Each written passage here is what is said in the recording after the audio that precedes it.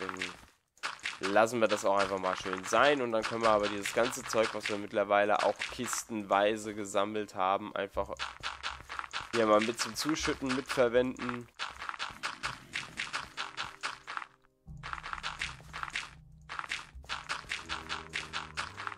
weil wir dann auf diese Weise auch Erde sparen. Jetzt im Moment ist es dann eigentlich auch, wenn ich so rum überlege, wieder blöd, dass ich hier...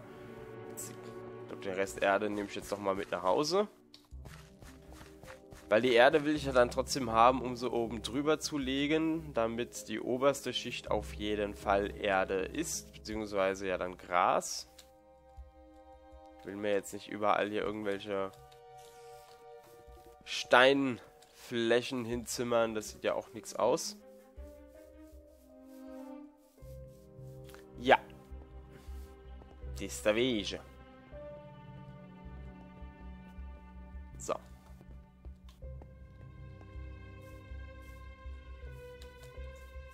Dann hauen wir uns mal eben schnell ins Bettchen. Mit unserem neuen Haustier, dem Frettchen. Nein, das beißt.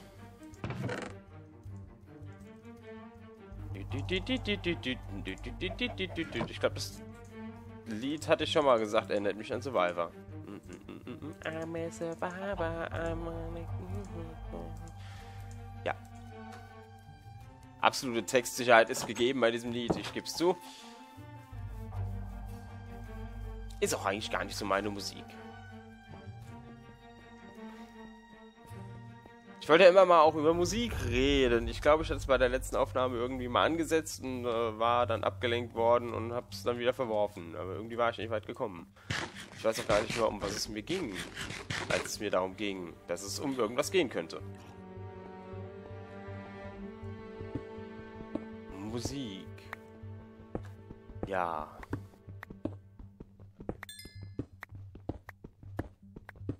Irgendwann hatte ich mal ein Thema, wo ich dachte, das wäre auch mal interessant.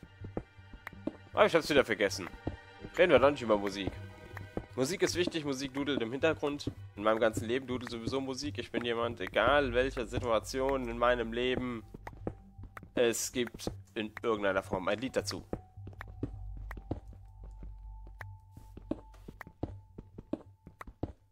Das äh, ist manchmal ganz witzig, manchmal mag einem sowas auch ein wenig sentimental stimmen.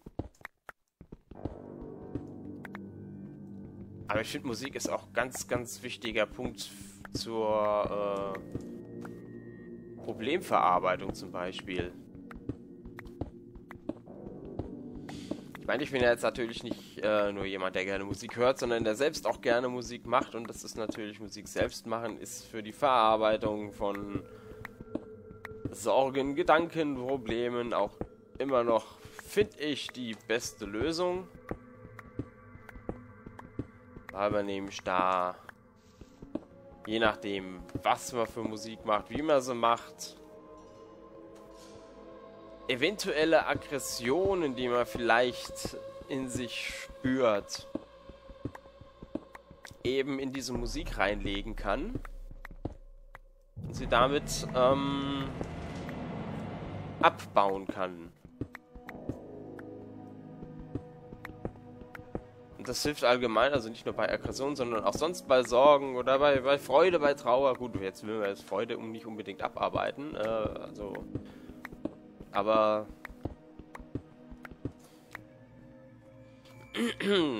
ich sag mal, ich persönlich habe die Erfahrung gemacht, dass es der definitiv bessere Weg ist, äh, negative Gefühle in Musik zu verarbeiten, anstatt an anderen Menschen auszulassen.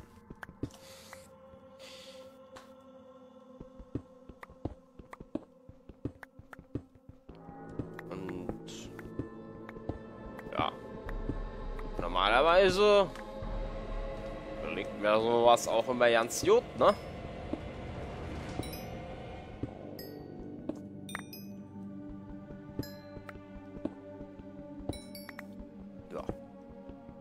schon immer so.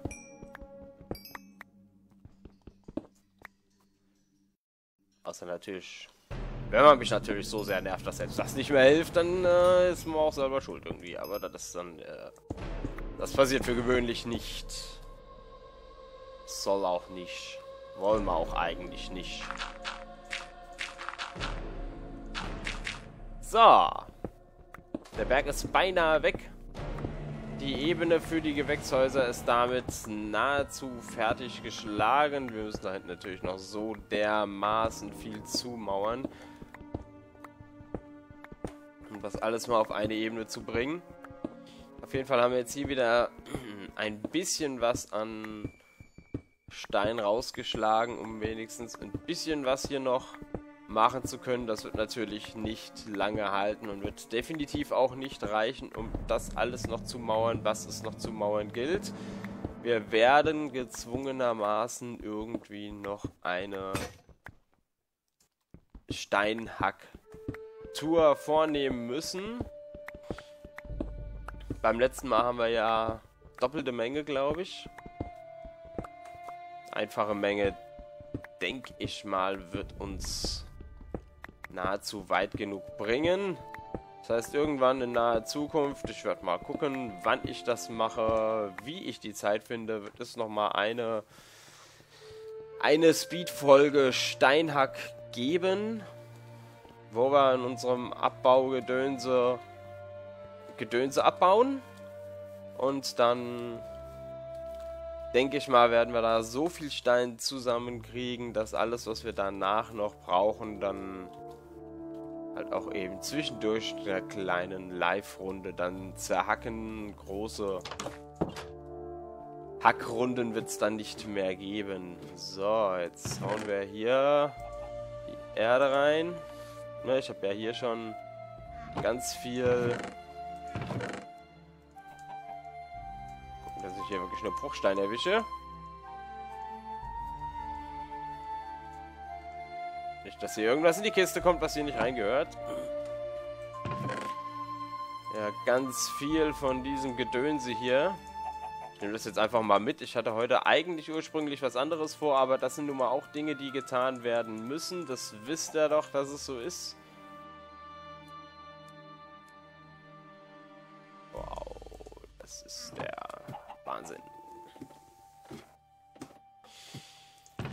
Ja, oh Gott. Wir haben ja auch schon wieder alles an Kohle. Es ist natürlich alles irgendwo in den Öfen drin, aber...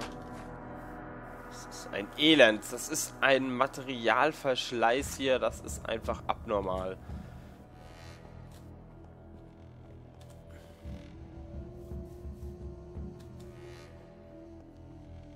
Da hoffe ich halt wirklich drauf, dass es jetzt bald hier äh, steintechnisch mal so ein bisschen zum Ende kommt. Ach du je, yeah, das ist das hier ist einer der Gründe, warum wir uns auch mal um sowas kümmern müssen. Jetzt hätte ich gern Brandpfeile.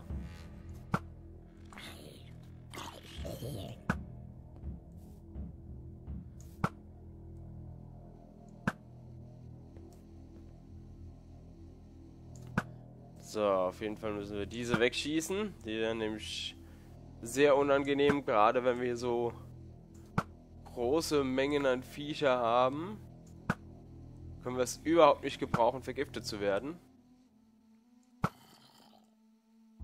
Oh, gibt's hier viele Hexen.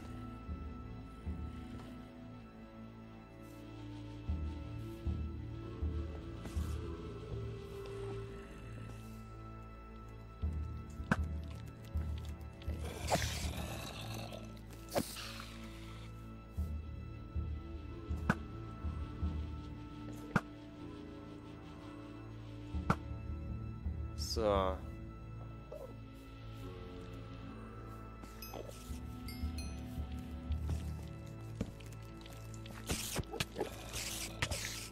Mabla. Ich muss gestehen, ich traue auch immer noch so ein bisschen dem alten, originalen Kampfsystem nach.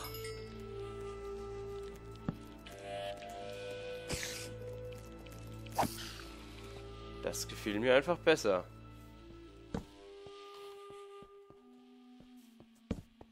So, okay.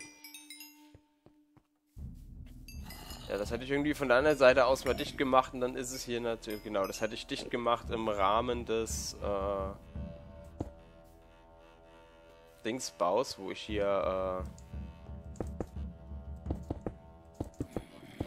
wo ich hier Dings gebaut habe. Ihr erinnert euch, als ich einst Dings baute, na, den Graben gezogen habe, da habe ich da ja mal zugemacht.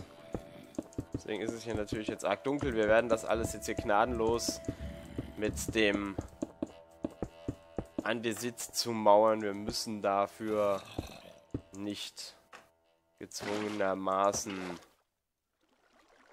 Erde nehmen.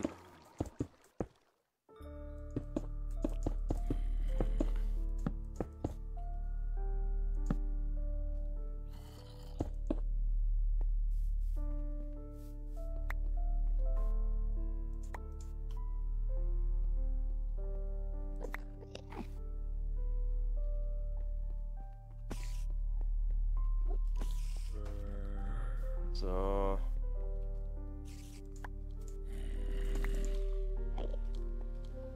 Jetzt bleibt das ein bisschen länger liegen. Ich sammle mal den Glowstone ein, den finden wir gut.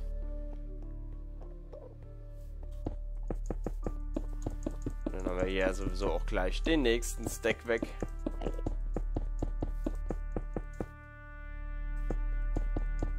Und dann haben wir auch wieder Platz für ein was mehr. Zack. Der hat sich entschieden, nehme ich an, für die Spinnenaugen. Jawohl. Das finde ich gut. Die haben wir nämlich gerne in der Kiste drin.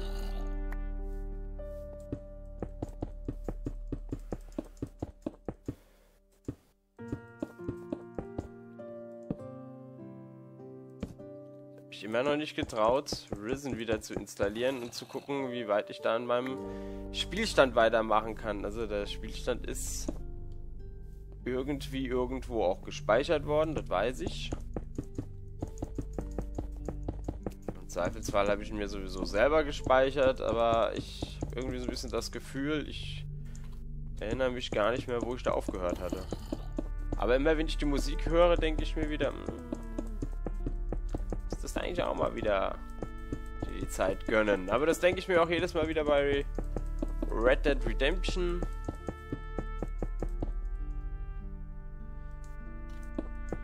Und man macht es dann doch nie. Und das ist irgendwie... Das ist... So ein bisschen... Bisschen das, was... Äh, ein Kronk einst erzählte, warum er angefangen hat, Let's Plays aufzunehmen.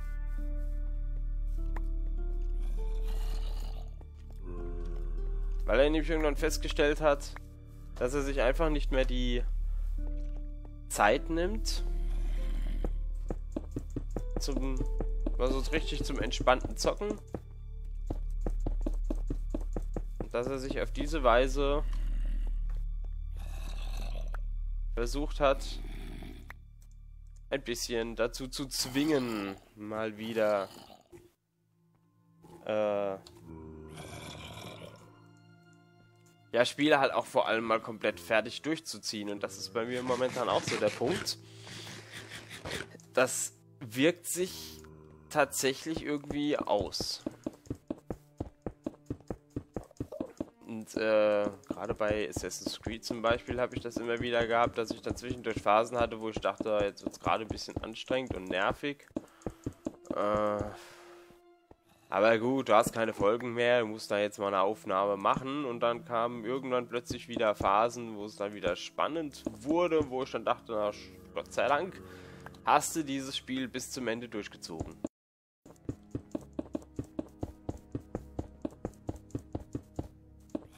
Und man kann sich halt irgendwie so an sich nicht richtig zum zum Zocken zwingen, dass man sagt, komm, du weißt genau, auch wenn es gerade mal zwischendurch träge ist, da kommen wieder Phasen, da macht es wieder richtig Spaß, zieh's halt durch, ne? Was ist halt, wenn man gerade mal auf ein Spiel keine Lust hat, dann macht man lieber erstmal was anderes und denkt sich, ja komm, kannst du, kannst du auch morgen noch, ne?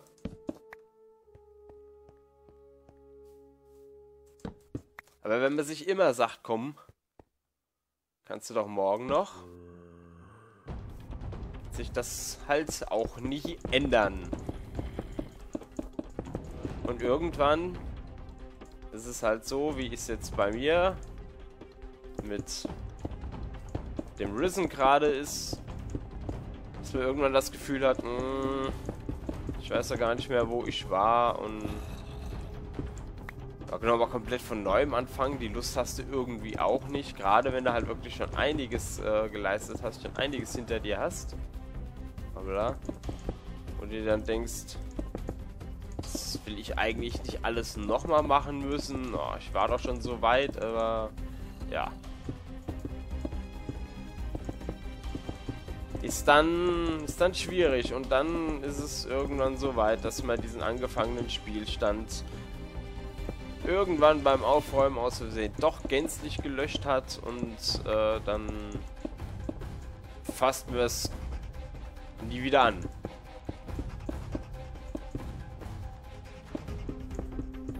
Macht dann allenfalls irgendwann, fängt wir dann mit einem nächsten Teil an wenn es einen zweiten gibt, so wie bei Risen, gibt es einen zweiten, einen dritten und kümmert sich dann eher darum. Und stellt dann irgendwann nach Jahren fest, ja, hm, das eine Spiel, das hast du ja irgendwie nie durchgespielt.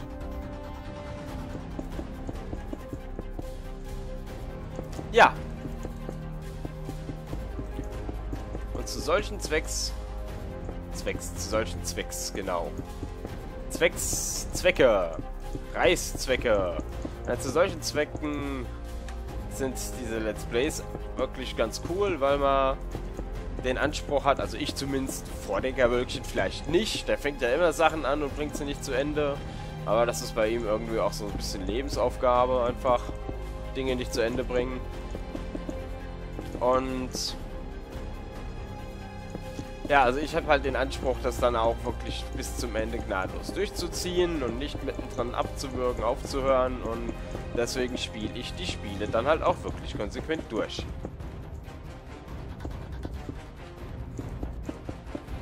Ich muss auch gestehen, ich würde eigentlich so gerne mal wieder ein paar mehr Projekte gleichzeitig laufen haben. Einfach, äh, weil man dann auch verschiedene Sachen hat, die man dann gerade am Machen ist und am Tun und weil es immer noch so viele Projekte gibt, die ich eigentlich mal machen wollte und immer nicht mehr, ja, ja nicht hinterherkomme. Weil mir halt aber auch ehrlich gesagt einfach die Zeit fehlt. Ich habe momentan nicht die Kapazität für drei Projekte. Ich könnte natürlich sagen, okay, vielleicht nehmen wir ein zweitägiges Projekt hinzu. aber will ich aber eigentlich nicht, diese zweitägigen Projekte.